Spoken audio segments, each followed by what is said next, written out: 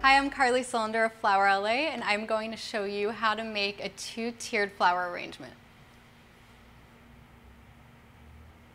To make a two-tiered arrangement, you're going to want to start with one glass vase. I chose a cylinder, it's the easiest one to work with.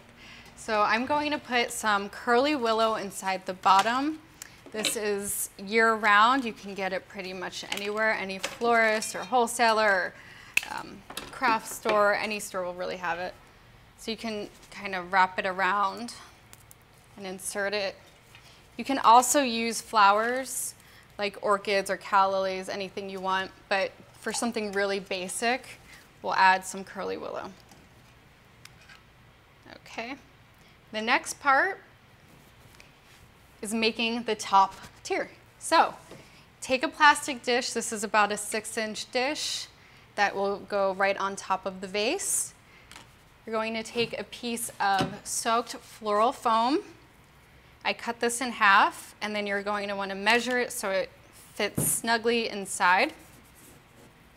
Take a piece of floral tape and wrap it around the dish to secure the foam. This is an optional step. You don't have to do it, but if you're worried about it tipping over, this is a good way to prevent that. Okay, so we have the foam in the dish. First, you're going to want to start with the base. So whatever your fullest flower is, hydrangea is really good for this because it yields a lot. So you can, you don't have to use as many stems. Cut it pretty short. You're only going to need an inch or so and insert it.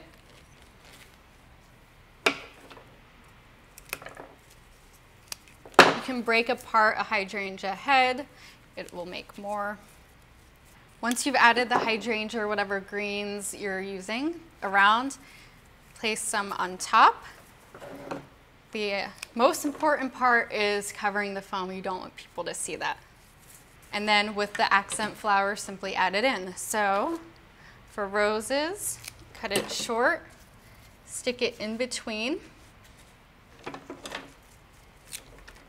Create a pattern. Depending on how big you want to make this, you're probably going to need about 16 to two dozen roses to make something really full. Or you, if you're looking for something a little bit on the lighter side, you can use six to 12.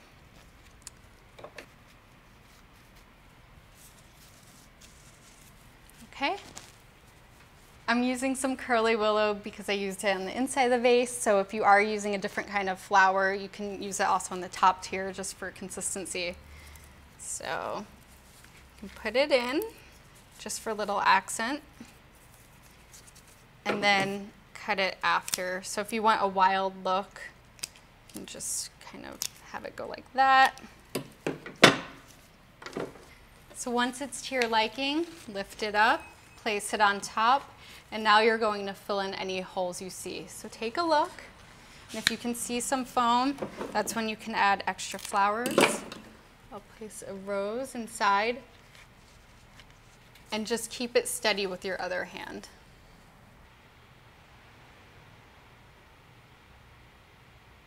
I'm Carly Cylinder, and that's how you make an awesome two-tiered flower arrangement.